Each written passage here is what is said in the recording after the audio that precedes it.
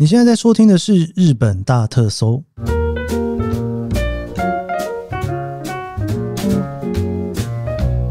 欢迎收听《日本大特搜》，我是 Keith 研究生。今天是二零二四年令和六年的四月十二号，星期五哦。今天是我们整个季中休息之前的倒数第二集哦。其实我们还会聊一个主题哦，这个主题我觉得还蛮有趣的哦，应该算是。这个今年我在季中休息之前呢，我觉得如果不聊，我会觉得非常可惜的一个题目了哈。今天大家可以来一起来聊一聊哦。那下个礼拜一呢，我会跟大家聊聊天哦，就是季中休息之前的最后一季哈，我会跟大家聊聊天哈。那聊完天之后呢，我们的季中休息就会开始了。我其实还蛮有一点点小期待放假的，毕竟我已经让从去年开始到现在一整年哦，一整年多哦，超过了一年。从来没有让日本大学的时候放过假，所以这个第一次放假，我有一种非常哇哭哇哭，很兴奋的心情就是了。好的，今天呢，这个我们还是要聊主题，对不对？哦，所以还是来跟大家来分享一下这些事情哦。那在这之前呢，我想要把 Apple Podcast 所有的回复都回复完哦。那回复完之后呢，诶，如果说我接下来季中都没有人留言的话，我是不是下一次开始的时候就会先暂时不用回复，也算是一种放轻松的概念。好的，那这一个是我的朋友在这里。代代木公园真的超大，听到 EP 二七二讲代代木公园，我就想到之前去东京时，想要打发吃晚餐前的时间，就带家人跑去代代木公园逛逛。那个时候有看到一个男生带了大概有十只、二十只狗在遛，很多人跑去跟他的狗拍照，很有趣。不知道研究生有没有看过这位仁兄？我看过很多次，非非常多次。其实我以前在台北的时候，就常常看到这样子的一个感觉，我就一直在想说，那个应该是那个狗旅馆吧？哦，因为有的时候呢，如果我出去比较久的时候，那当然教授他就会在干妈家啦。但以前在台湾的时候呢，如果去那种一两天，有的时候就会把它放在那个狗饭店哦，狗旅馆哦，可以在那边住两晚。那通常狗旅馆的人呢，就会带着一群狗出去遛狗，我就带他们这样散步一圈哦。但是我有一点点不太确定，代代木公园的那一个人是不是狗旅馆呢？因为呢，在日本啊，在日本养狗呢，跟在台湾养狗的概念其实蛮不一样的，真的很不一样。我以前一开始在台湾养教授的时候，我还没有想过这件事情呢。那时候就很单纯哦，在台湾好像养狗的那种感觉就是家人吧，哦，对。但在日本呢，当然也是家人啦。但是你会有一种觉得，尤其是港区的狗，港区的狗都好有礼貌。我每次只要在赤坂六本木那边的公园碰到狗的时候，觉得他们哇有礼貌到不行。那代代木公园那一个区域呢，基本上也算是在东京都涩谷区里面哦，相对来说还蛮好的一个区域哦，那边环境也相当好，所以那边也算是蛮高级的住宅区的等级吧。所以我一直在想，说会不会是也是某一个，比方说帮狗洗澡啦，或者是狗医院啊，或者是狗饭店的地方。然后你知道，就是一群狗要带出去遛嘛。但你知道，那个日本大部分都是贵宾，所以贵宾我一这样算下来，就想说，他如果牵个十只狗在那里，他等于牵了三百多万在手上，你知道？因为在日本，其实如果你要去养到贵宾，其实不便宜的。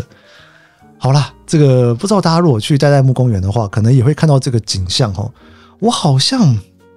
如果带教授去那边跑步的话，可能大概两次到三次就会碰到一次，所以应该算是蛮常出现的状况，不算是个小事啦，哈，应该这样讲哈。好的，再来这一个是超赞的节目，五星吹捧，敲碗高雄飞日本航班的专辑啊，这一集呀。这个日本飞航班的专辑啊，其实呢我已经都准备好了，而且呢，其实我也都有就是做出一些 list 来哈，就是说大概会有哪些。但是呢，但是呢，因为我刚好四月有一趟要回台湾的计划哦，就是我们会下个礼拜有一办活动嘛。哎，对对对对对对，我们下个礼拜虽然是季中休息，但是有活动哦，有线下活动哦，我都差点忘了，我自己没办法休息了哈，因为下个礼拜六我们还是有线下活动哦。好，总之呢，我这一次要回台湾的时候，我就灵机一动，我想说高雄飞日本的飞机，我脑中马上浮现出一个人选，可以来节目里面跟大家聊哈，因为他平常研究这个研究的很深哈，所以我就决定把这一集先 pending，我就不自己聊了，我决定要找人一起来聊这一题。所以高雄飞日本的航班的这一个专辑呢，大家可以稍微拭目以待，应该会在季中休息之后哦，会跟大家来聊这一个题目哦，应该会是相当精彩赛事。但是我还没有录啦，这个是下个礼拜哦，我回台湾的时候才会录的哈。好，再来这一个是 p o c k e t 好好听，研究生好认真在做节目。一开始被节目吸引是节目内容跟日本相关，但能持续保持对日本的热爱是因为研究生的声音好听，节目内容有质感，不会有一些浮夸又无聊的特效，还有强迫收听的工商服务。希望这样的好节目能够受到更多人的支持和喜欢，也祝福研究生天天生活精彩，继续为大家带来更有趣的发现。好的，谢谢谢谢，非常谢谢你哦。其实哦，你知道有的时候在节目里面会有人说我的声音好听这件事情，其实我自己是不是那么的确定？因为你知道，我开始做 podcast 之后，我才开始练习把自己的声音录下来，然后把声音录下来之后呢，就是会剪接嘛，然后剪接的时候又要听自己的声音。一开始剪接真的是非常非常的不习惯啊，就是怎么听怎么不舒服。我真的应该是剪到很后来之后，我才开始有办法认真的就是面对自己的声音哦。然后我最近呢有在偷偷进行另外一个企划，这个企划呢，这个应该也是季中休息之后才会跟大家聊的。那个企划呢，就是会我会录音的时候会把自己讲日文的声音给录下来。哇，把自己日文的声音录下来之后，那个又是另外一个可怕的故事。我已经分辨不出来我日文讲的好不好了，因为你知道那个听自己讲日文的那个声音啊。第一次听到，就觉得哇，原来这个人讲日文是这样子的声音，就很害羞了。然后又会，你知道，尤其是日文，其实我现在在做日本大特搜之后呢，有一个我觉得还蛮尴尬的事情，因为我虽然住在日本，然后当然平常的生活都会讲日文嘛，然后就碰到很多日本人嘛，但是因为日本大特搜基本上会让我在每一个礼拜花蛮多的时间在讲中文的。所以你知道，因为要花很多的时间在讲中文这件事情，我脑袋里面就会很容易压缩掉讲日文的状况。所以有的时候，你知道，要一切换到讲日文的时候，会忽然觉，哇，日文真的是不知道退步到哪里去了，会有一点这种感觉了哈。当然还是能聊天，还是能沟通，还是能工作，还是能上班，还是可以呢去跟人家谈生意。但是呢，当把自己日文的声音录下来再听的时候，我有点分不太出来自己这个声音到底是什么。那我那天还问了一个朋友，他就说，如果是先从日文来认识我，跟从中文认识我，感觉像是不同人。我觉得还蛮有可能的，真的还蛮有可能的。因为我自己讲日文的时候，说话方式真的是不太一样，因为这个语言的关系吧。哈，好，非常感谢，非常感谢。我也希望大家就是能够从这节目里面多得到一些资讯啊。我觉得聊一些知识的东西是还蛮有趣的。就是一种看到一个名词不把它了解一下不太行哈。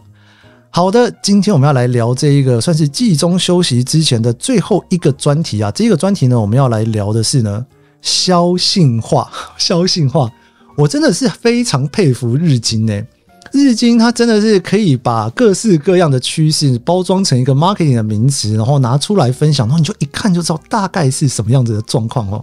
所以说呢，这个消性化是什么意思啊？还记得我们之前有聊过消龄化吗？就是说，你在整个日本里面，你会发现年龄对于事情的喜好差距越来越小。消性化也是在这过去二三十年间呐，这二三十年间呐，特别关于吃的东西，男生跟女生对于吃的东西的讲究，对于吃的东西所喜欢的程度也越来越接近了。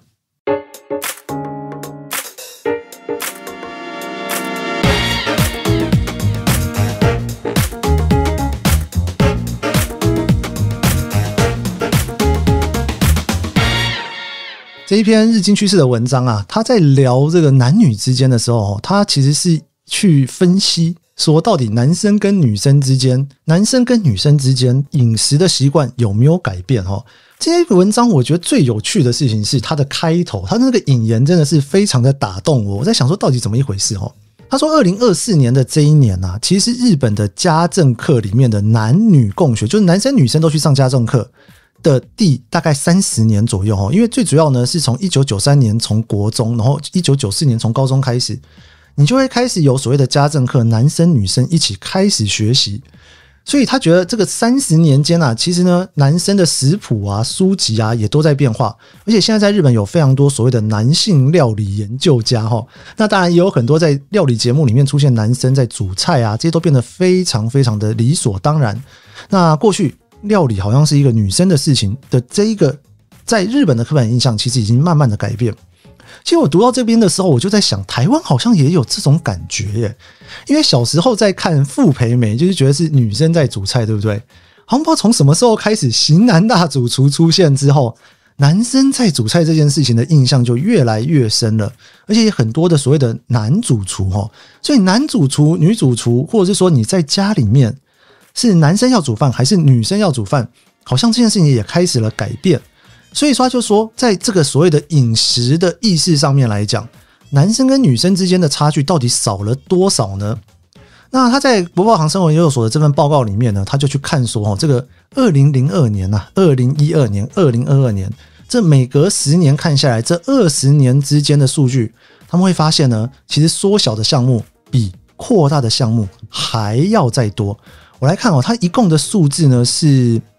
他分析了大概有一百零五个项目，然后这一百零五个项目里面呢，男女之间的差距变大的有十六个，缩小的有三十五个哈。那这样加起来有几个？这样加起来五十一个嘛哈，所以应该剩下的五十四个应该是没有显著差距了。若以统计学的概念来讲，应该是这样。所以就是你可以感受到差距的呢，缩小的有三十五，然后扩大的有十六哈。那我们来看看这一个所谓的缩小跟扩大的结果。从二零零二年到二零二二年这二十年间，到底差了多少哦？那首先呢，他在聊的是料理哈。我们先才看这到底吃什么东西。第一个呢，他在聊的呢是味增汤。哇，味增汤这件事情还挺有趣的。不知道大家来日本会不会喝味增汤？我自己呢，其实没有那么爱喝味增汤。我总觉得味增汤有一点点太咸。好在二零二二年的时候呢，是五点三 pt，一直到二零一二年的三点一 pt。好，我讲一下这是什么意思哈。在二零零二年的时候啊，男生呢是六十八点七 percent，女生呢是六十二点九 percent，这两个相差是五点八 percent 哦。到了二零一二年的时候呢，男生其实是有下降的哦。二零一二年是从六十八点七降到了六十二点四哦。女生也跟着降，所以基本上大家是越来越不爱喝味增汤，是这样子的概念吗？女生是六十二点九降到了五十九点三哈，然后再过十年，二零二二年的时候，男生已经是六十点二，女生是五十九 percent，已经缩小到只剩下一点二 percent。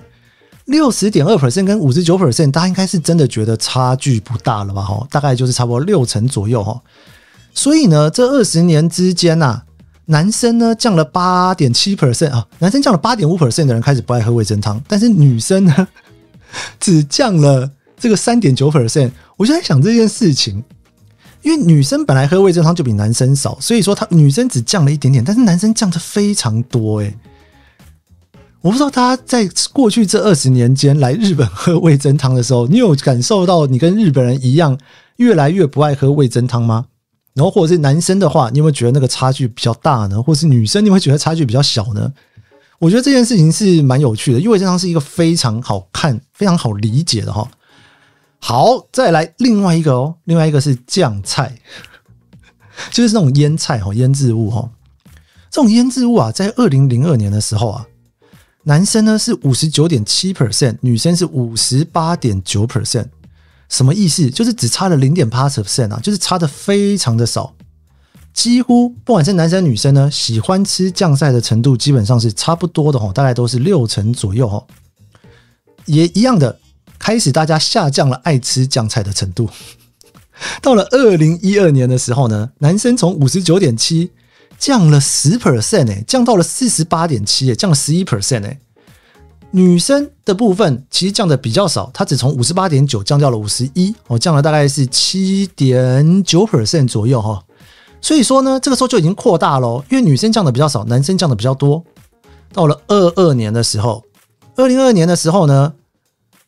男生啊又继续降到了四十一点六 percent，然后女生呢降到了四十六点三 percent 哦，四十六点三 percent，这两个差距呢差了四点七 percent 哦，差了四点七 percent。从二零零二年男女之间的差异呢只有零点八 percent，一直到了二零二二年的时候，男女之间的差距已经到了四点七 percent，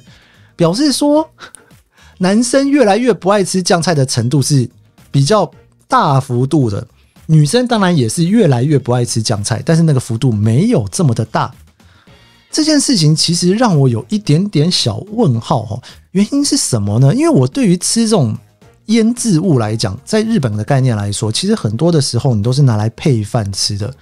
我一直到后来有一阵子在听那种营养师的东西，然后我才知道说，诶，好像在吃东西的时候哦，饭要最后吃，你可能要先吃肉吃菜，最后才吃饭哦。那所以这样子的概念会造成什么样子的概念呢？就是说，因为你最后才吃饭。你总不能什么都不吃吧？哈，那日本人的习惯呢？其实有的时候饭呢，他真的也是最后吃，而且就配酱菜。他们比较，呃，我也不敢讲所有人呢，因为我发现我最近很多朋友，日本的朋友，他其实吃的时候也不会刻意的把饭最后吃。但是以前我好像看到的比较多，以前你比较会看到就是说，诶，菜都吃的差不多了，最后吃饭的时候再来配酱菜。或者是说，在吃拉面的时候，很多人会吃完一碗拉面之后呢，就吃一碗饭，然后配那个酱菜哦。这个也是一些吃法了哈。总之，我自己觉得酱菜这件事情，在日本来讲，应该还是蛮重要的。那男生吃饭的比例，我总觉得比女生多一点点，所以我总觉得应该是男生比较爱吃酱菜一点才对。结果不是哦。到了二零二二年的数据里面，女生爱吃酱菜的比例是比男生多了四点七 percent 哦。这个我真的是蛮有趣。我下一次去吃饭的时候，我要来稍微观察一下，到底男生跟女生吃酱菜有没有什么差别。所以你看，这种性别上面的差异缩小或是增加，你会觉得说是男生在往女生靠拢呢，还是女生在往男生靠拢呢？我大概会有一种嗯，蛮有趣的，应该是男生影响女生，还是女生影响男生？毕竟吃饭这件事情，应该男生会跟女生一起用餐的几率应该是蛮高的，对不对？你不太会说我是过去这二十年当中，男生只跟男生吃饭，女生只跟女生吃饭，应该不至于。所以你会去观察到跟自己不同性别的人在吃饭上面的习惯才是哦。好，再来我们来看喝酒哇，喝酒这件事情挺有趣的哦。他说啊，这个喝酒这件事情啊，在过去这二十年之间呢，女生几乎没有什么太大的变化。这二十年之间几乎都是六十 percent 左右，但是呢，男生的部分从八十一点八 percent 降到了七十五点五 percent。你知道降了六点三 percent 的意思，就是说男生大概就是这二十年间大概降了六点三 percent 的人不喝酒哦。这件事情其实挺有趣的事情。是二零零二年是八十一点八 percent 哎，二零零二年的时候我还在日本念大学哈，那时候还在当大学生，真的是很爱喝酒。日本真的好爱喝酒啊！我记得我那时候因为日本的喝酒是二十岁，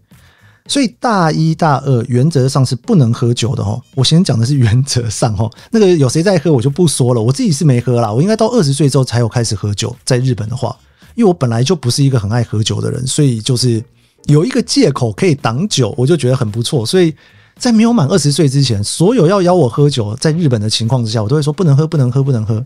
所以你知道，那些卖酒的或便利商店啊，如果在学校附近看到是学生，一定会看你的证件，因为他就是知道说大学生里面大一、大二基本上十八、十九岁是不能喝的，然后二十岁才能喝。好，我们这个有点扯远哦。诶八十一点八 percent 哎，这个是非常惊人的数字诶。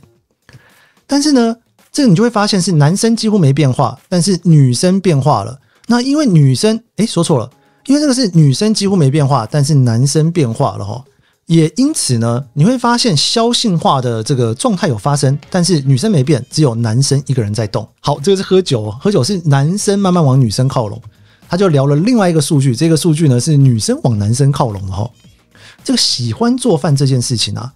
男生呢，在二十年间呐，大概都维持在二十七 percent，二十七 percent 感觉是不太爱做饭，因为二十七 percent 等于你看，满分是一百 percent 才二十七耶。那女生呢，在二零零二年的时候呢，是四十六点一 percent，在二零二二年的时候降到了三十五点四 percent，降了十点七个百分比。也就是说，女生降了十点七个百分比，但是男生几乎没有变化，这就是女生往男生靠拢哦。然后就说到了呢七点六 percent 哦。诶，男生不爱做饭，女生也越来越不爱做饭了，大家都不爱做饭啊。做饭这件事情有时候真的也是蛮麻烦的啦。不过在日本呢，我总觉得不做饭应该是没有办法解决日常生活的，因为在台湾啊，我每次回台湾其实吃饭的时候呢，就是其实都吃的很简单哦，常常就切切个黑白切啊，喝个汤啊，吃个简单的面哦，一餐就结束了。在日本没有办法这样结束诶，在日本就是我好像在想不太出来有什么便宜清淡的东西。因为如果当观光客吃个松屋吃个两三天还可以，但是你坐在这里不可能每天吃松屋吧？哦，那松屋基本上也是蛮咸的。我觉得日本基本上都偏咸啦，所以在日本想要吃比较清淡的东西呢，大概最后的结果就是只好自己煮饭哦，大概是这样子的概念哦。所以在这二十年当中，大家就会发现一件事情哦，喝酒这件事情，男生越来越不爱喝酒，所以男女之间呢就开始缩小了这一个差距。煮饭这件事情呢，女生越来越不爱煮饭，所以呢也往男生靠拢哦，然后这差距也越来越少哦。好，再来另外一个哦，就是所谓的减肥哦，就是节食性的饮食哦，就是不要吃太多哦，刻意的去调整饮食哦。女生在过去这二十年之间啊，大概有二十 percent 的人在做这件事情，所以这二十 percent 几乎没有变化。但是男生呢？男生呢，大概从九点八 percent 增加到了十三点七 percent，所以也因为这样的原因呢，男女之间的差距啊，从十 percent 就缩短到了七点一 percent 哈。这个是所谓的就是比较节食吧哈，就是不要吃太多的东西。好，再来这个所谓的在一边吃饭一边喝酒这件事情，一边吃饭一边喝酒这件事情，在过去这二十年间呢，女生增加了大概一点八 percent，从二十一点八增加到了二十三点六哦，但是男生啊。男生减少了七点四 percent 哎，男生的减少是从四十五点九 percent，然后呢降到了三十八点五 percent，也就是说，这一边吃饭一边喝酒这件事情，男呃女生是稍微有点增加的，但是男生有大幅的减少，那这个就是呢，男生往女生靠拢过去了哈。这个应该哈，我就是说，如果男生开始越来越多去注重吃东西，不要吃太多哦，稍微节食一点点哦，那当然吃饭的时候也会顺便减少酒精的消费吧。这两件事情应该是有一点点相关的。我这边看到它有一个数据，我觉得相当的有趣。这题叫做呢，觉得在公共场合站着吃荞麦面很丢脸。这件事情，女生大幅减少，从二零零二年的二十八点二 percent 降到了十一点六 percent，大家已经觉得不会丢脸了。然后男生的部分大概是从四趴降到两趴。男生本来就不觉得说，就是站着吃荞麦面很丢脸，但是女生本来觉得，所以在这个差距呢，就从二十四点六 percent 降到了九点七 percent，这个就是女生往男生去靠拢。吃荞麦面，站着吃荞麦面这件事情会不会很丢脸？这件事情，我好像很少站着吃荞麦面。我站着吃荞麦面几乎都是在车站，就是日本有很多车站呢，就是在月台上面转车的时候哈，它会有卖一些热食，尤其在九州，九州还蛮多的哦。我那时候应该好几次站着吃荞麦面都是在月台上面吃的。我没有特别觉得女生怎么样哦，我是觉得不丢脸了，但是我还蛮讶异的，就是女生会觉得丢脸哦。那不当然啦，觉得丢脸这件事情也是慢慢的降下来。这个我就觉得跟所谓的女性社会进步是有一点点关系的。毕竟你看，二零零二年那个时候呢，专业的主妇哦，或者是说两个夫妻都要出去工作哦，这件事情呢，其实数量是差不多的。但是到了二十年后的现在啊，其实呢，两份薪水的家庭啊，其实是专业家庭主妇的两倍多，女性工作的人数其实是非常非常多的。如果你又要工作，又要管家务，又要育儿，变得很忙碌的话，我觉得饮食行为应该是无论如何都得改变吧。不知道大家平常在台湾吃饭的时候有没有去想过这件事情哦？男生跟女生吃饭的那种感觉不太一样哦。我觉得在台湾，我真的对于这个意识是真的是蛮低的。我很少会去有一个下意识说这家餐厅好像是男生吃的，或是这家餐厅好像是女生吃的。但是在日本哦，我觉得这一个现象其实还蛮严重的。我几乎大概走到那个餐厅的门口。然后瞄一眼，我大概就会知道说这家餐厅呢，它最主要是想要做给男生吃的，还是想要做给女生吃的？又或者是说，他今天有非常的努力，希望男生女生一个人都可以进来吃？又或者是说，他会希望这一个餐厅基本上是给 couple 吃的？很多的餐厅都感觉得出来哦，尤其是像什么拉面店哦，有一些拉面店呢，你真的很少看到女生在排队，但是有一些拉面店，你会发现女生的接受度还蛮高的。我倒是觉得在这种餐厅去设计给男生吃、给女生吃这件事情上面，在日本我觉得算是蛮严重的，也不是严重啦，就是说你可以看得还蛮清楚，它是有分出来的。我其实觉得这样子的分众啊，其实可以达到一些满足吧。哦，就是说，反正我就已经放弃男生了，我就专门针对女生，所以他就可以把。里面所有的不管是服务啊、装潢上面哈，就是尽可能的去符合女生会想要的样子哈。这也是一个呢，我有时候在日本在想的，因为日本其实在过去这二十年之间呐，男生跟女生所谓的男女平权，又或者是不管在工作上面啊，或者是家庭啊，或者是生活上面，其实整个现象都有很大的改变。最近我也看了一部日剧，我应该很多人都有看过，那个极度不妥哦，就在讲这种从昭和到令和的改变哦。男女之间的那种平权的意识越来越强，男女之间呢的那种平等性越来越强。我们又可以从今天的节目里面，大家可以听到说，在吃东西这件事情上面来讲，基本上绝大多数都还是以缩短距离为主。哦，我刚刚讲到说，扩大的有十六个，但是缩小的有三十五个。缩小的无论如何都还是比较多的一个状态哈，所以在这样的一个状态之下，反而对于我对有的时候日本的那种餐厅里面，有些餐厅只有男生，有餐厅只有女生，我觉得中间还是有一个小小的违和感在这里面。我想这个可能就是扩大的那一个部分吧哦。好了，大家下次来日本玩的时候呢，可以左右稍微观察一下男生跟女生吃东西有没有什么不一样。你你也可以想一下，你如果在台湾的话，有没有看到台湾也有这样子消性化的现象呢？好了，我们这一节日本大特搜就到这边喽。喜欢这期节目，不要五星好评，也追踪我脸书 IG。我们下周一见喽，拜拜。